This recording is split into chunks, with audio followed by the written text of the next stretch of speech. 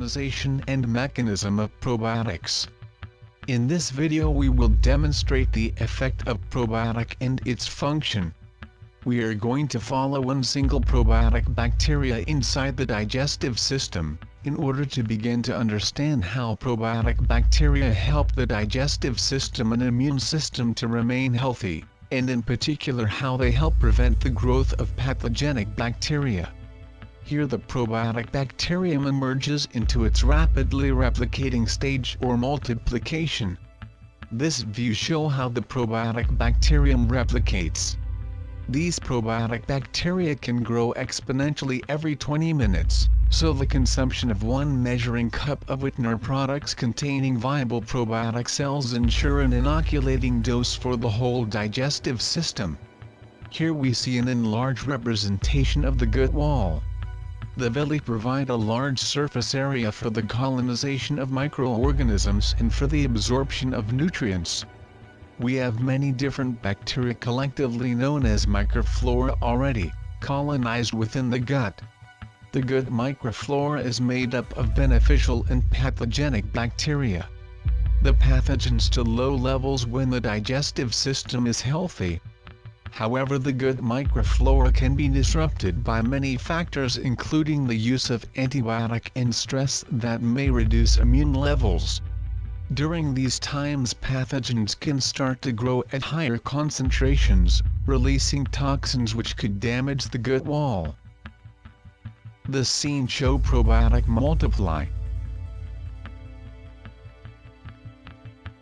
Of course pathogenic bacteria can also multiply at the same way.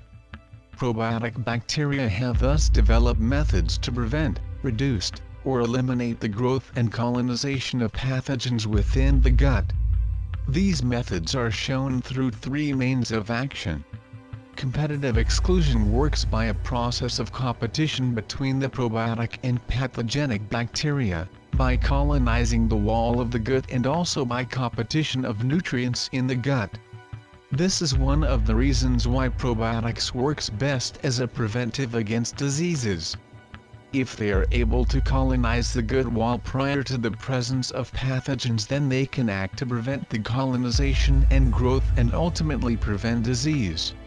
Probiotic microorganisms are very efficient at competing for the adhesion site in the digestive system. We see here the probiotic bacteria excluding the pathogenic bacteria from the gut wall.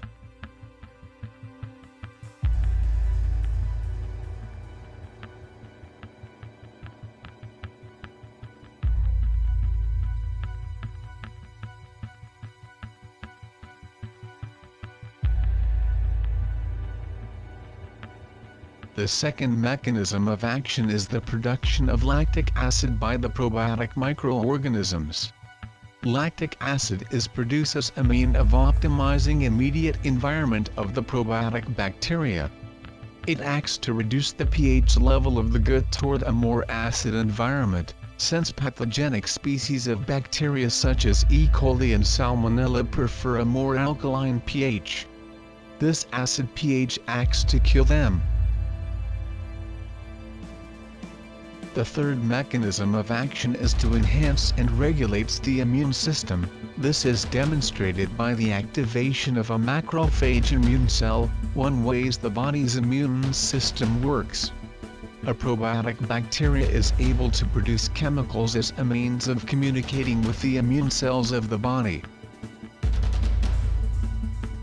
Here it is telling the macrophage the location of a colony of pathogenic bacteria.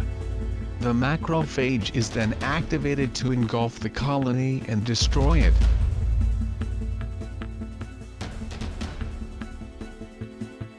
Prebiotic is defined as a non-digestible food ingredient that beneficially affects the host by selectively stimulating the growth and or activity of one or a limited number of bacteria in the colon to improve host health.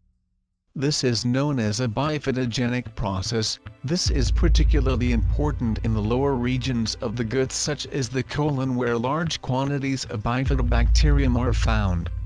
By combining a prebiotic with probiotic microorganisms you have what is commonly called a symbiotic formulation. Here the ingredients produced a synergistic effect.